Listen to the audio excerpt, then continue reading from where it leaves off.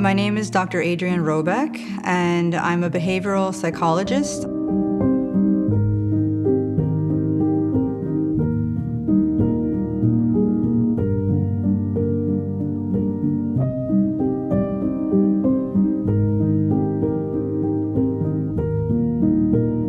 Down syndrome is a genetic condition that causes uh, the extra pair of chromosomes and uh, it reach, leads to certain uh, developmental delays and uh, intellectual challenges and certain other conditions in uh, a child as he grows up. أنا اسمي مراد ال الصوص أنا مترجم لغة إشارة I'm Noah Akram. I'm 23 years old. I'm born and brought up in Doha. I'm Qatar's first female disability rights uh, activist and I'm a comedian. My work for disability rights and media representation for people with disabilities was recognized by BBC Worldwide, naming me one of the 100 most influential women in the world, 2017. I'm Michelle Dixon. I'm an art therapist, so I work with children, adolescents, and their families when they're in the hospital. برايل هو الطريقة اللي المكفوفين بيستخدموها عشان يقدروا يوصلوا للكلمة.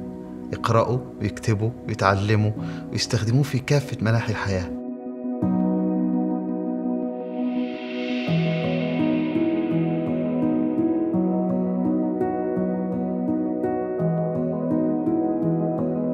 The society today is not very well equipped to handle persons with uh, disabilities, including those with Down syndrome. They consider them as disabled. And that's the first misconception that we need to take out from our minds. You know, when you look at a person with special needs, don't move away from them. Approach them, talk to them, deal with them like how you would any other person. I think the biggest misconception is that people with autism don't want anybody near them. Some of them don't, but I think that's a pretty small percentage of, of the autism population. Most of them are, are okay being around other people. They don't mind it.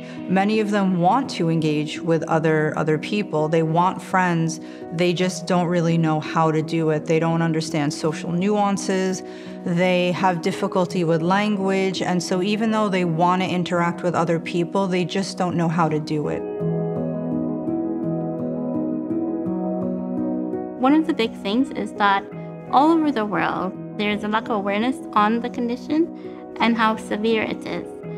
And one of the things that I would love to see the community and the global medical community do is more research in the country and in the globe to see how can we find, if not a cure, but at least a treatment that helps lessen the severe uh, symptoms of this condition and the effects that it does to the individual.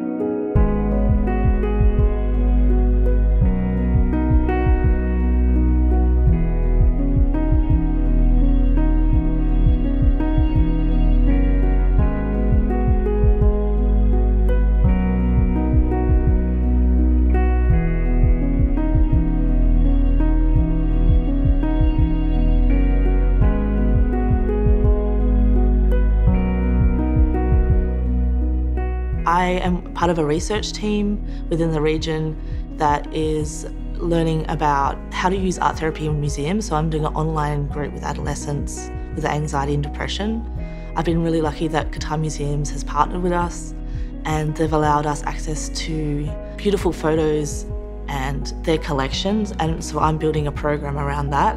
So using things from this region and allowing adolescents to reflect upon that and do their own artwork, reflective response, really capture and understand the artwork from a different perspective. The history is very important, but also how they see the artwork and how it impacts them and their connection with the object is really powerful for themselves and also that therapeutic like experience. أنا شفت متحف قطر الوطني ممتاز وبيئة سهلة وميسرة لكل الأشخاص ذوي الإعاقة وأيضا خاصة الأشخاص الصم. لما السنة الماضية أو قبل سنتين إجينا زيارة على المتحف كنت أنا مع وفد من الأشخاص الصم برافقهم في جولة داخل المتحف وكنت أنا بترجم. لما شفنا كان واضح كل شيء داخل المتحف واضح الآثار القديمة والحديثة مختلفة واضحة. السبب أنه في صور آه، في فيديوهات كاملة الأصم ممكن يشوفها يفهمها. أيضا الموظفين داخل متحف قطر الوطني الآن البعض منهم عنده خبرة قليلة نوعا ما بلغة الإشارة شو السبب؟ أنه هدول الموظفين كلياتهم أعطيناهم دورة لغة إشارة وتعلموا لغة إشارة حتى يتواصلوا بسهولة مع الأشخاص الصم أو أي زائر من أشخاص الصم لما يجي على آه، على المتحف لما يشوف ممكن الموظف يتواصل معه بلغة الإشارة بكل سهولة فيكون التواصل ومساعدته بشكل عام سهلة.